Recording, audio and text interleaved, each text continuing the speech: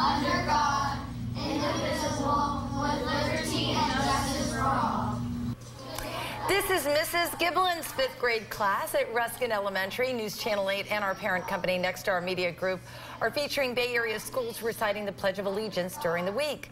We want to air your classroom's Pledge of Allegiance videos, so just attach it to an email and send it to schoolpledges at WFLA.